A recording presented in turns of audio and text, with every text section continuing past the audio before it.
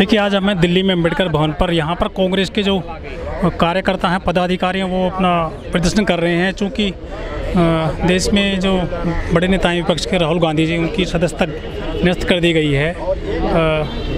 उसके बाद से जो कांग्रेसी हैं वो डेली ही अलग अलग जगह पर प्रदर्शन कर रहे हैं। देखिए, जो कांग्रेसी कार्यकर्ता हैं, डॉक्टर उदित राज जी के निर्देशन में आज दिल्ली के अंबेडकर भवन पर आंदोलन कर रहे हैं।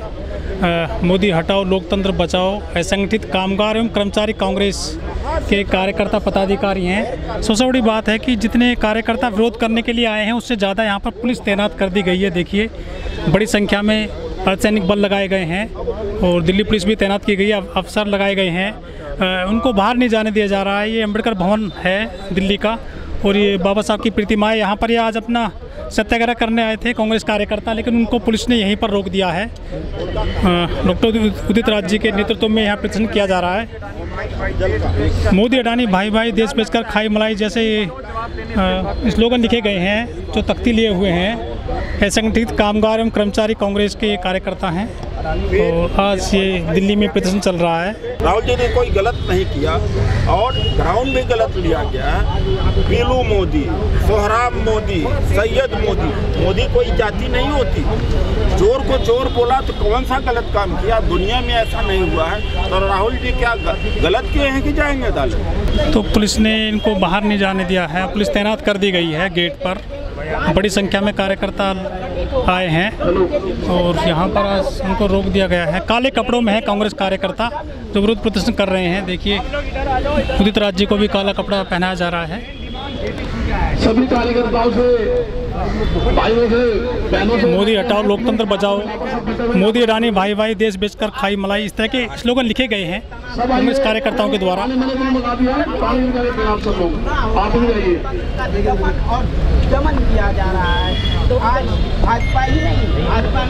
कांग्रेस पार्टी! कांग्रेस पार्टी राहुल गांधी राहुल गांधी आज का यह सत्याग्रह राहुल जी की जो सजा हुई है उस, उसके खिलाफ में उनका घर भी खाली कराने का नोटिस दिया जा चुका है। अडानी के द्वारा लूट। राहुल गांधी जी ने 7 फरवरी को अडानी की लूट का पर्दाफाश संसद में किया। तो जो भारतीय जनता पार्टी का एमएलए जिसने फर्जी या गलत आधार पर एफआईआर दर्ज सूरत में कराया था, वो आदमी हाई कोर्ट में पहले जाकर के रुकवा दिया था कि केस न चले। और जैसे राहुल जी ने अडानी के बारे में बोला, एक हफ़्ते के अंदर पूर्णेश मोदी पूर्णेश मोदी जो बीजेपी का नेता है, जो शिकायत करता था, हाई कोर्ट से अपनी एप्लीकेशन विड्रा कर लिया और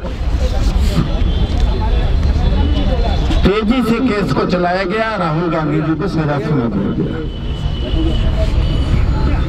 दो तीन बातें लोग कहते हैं, ये तो अदालत का फैसला है, अदालत का फैसला नहीं है। जगह कौन है गुजरात?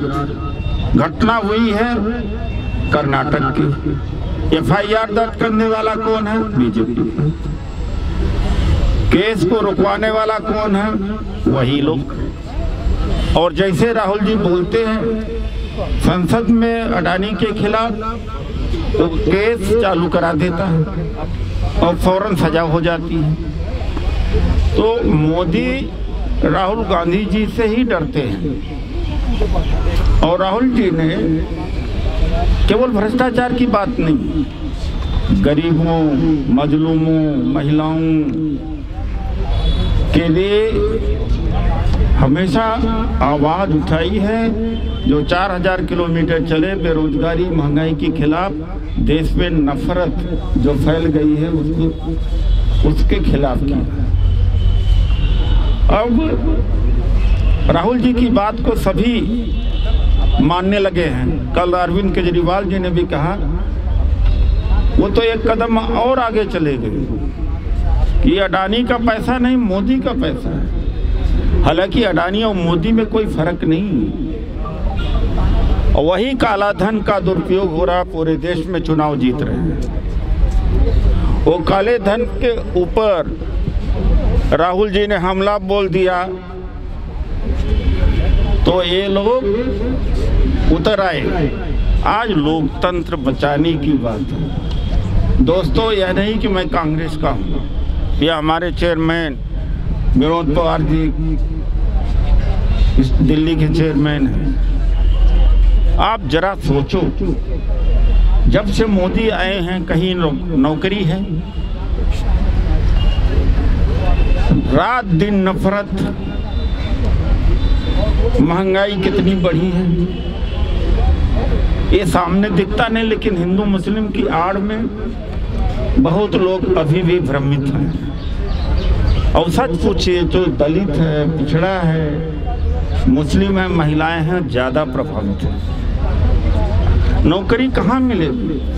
बैंक बेच दिया बीएसएनएल बेचा, रेल बेचा बंदरगाह बेचा, जहाजें बेच दी कोयला बेच दिया कुछ छोड़ा नहीं जा रहा है। और देश की जो को रोज़गार देने वाला एमएसएमई होती है, उसकी कमर तोड़ दिया ये दर्द राहुल जी को सीने में है।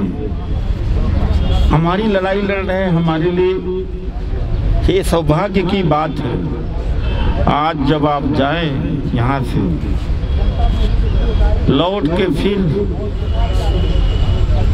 कहना कि चलो एक बड़ा और धरना करते हैं, एक और बड़ा सत्याग्रह करते हैं। लोकतंत्र की बचाने की लड़ाई, मेरी कट जाएगी, राहुल गांधी जी की भी कट जाएगी, हम लोग उस वर्ग से। यानी खाने पीने की कमी तो नहीं है लेकिन आप में से ज़्यादातर लोग प्रभावित होंगे। देश की जनता मरेगी आवाज़ दबाई जाएगी। तो यह मत सोचना कि अपनी ने, नेतागिरी चमकाने के लिए राहुल जी कर रहे हैं या मैं कर रहा हूँ या हमारे साथी कर रहे हैं। ये वास्तव में हमारे दिल की एक बात है। बड़े मुश्किल से आज़ादी मिली। बड़े मुश्किल से आज़ादी मिली है। अगर बोलने की आवाज़ छिन गई तो मानव पशु में कोई अंतर नहीं होगा। पेट पालने के लिए हम नहीं बने हमारी एक आज़ादी है, हमारी अभिव्यक्ति है। राहुल गांधी जी, जैसा एक और मामला, मोहम्मद फैजल लक्षद्वीप पे एमपी का है। उन, उनको सजा मिली। उन्होंने स्टे कराया। लेकिन फिर भी लोकसभा स्पीकर ने उनको बर्खास्त कर दिया। आज अपने आप उनको बहाल कर दिया।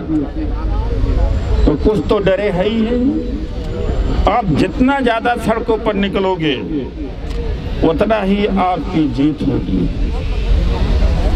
और सप्ताह में एक दिन आधा दिन निकाल देना, दिन में घंटे, आधा घंटे निकाल देने से आपके रोज़गार में, आपके आराम में, आपके घर पर कोई फ़र्क नहीं पड़ेगा, लेकिन देश को बचा सकते तो मैं इन्हीं शब्दों के साथ, मीडिया के साथियों को बात करते हुए विराम करूँगा। कोई सवाल होगा, मैं जवाब दूँगा।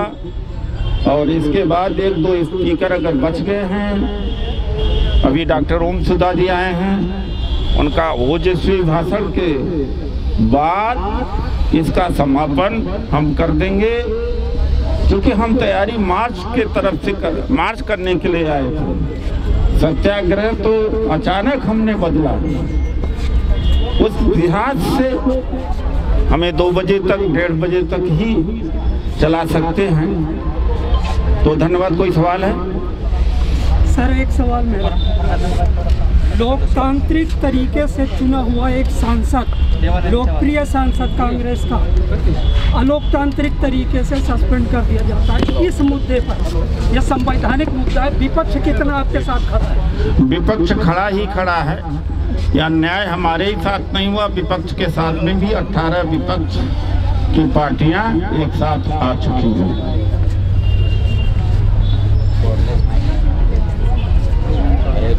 Niyamika ji want to do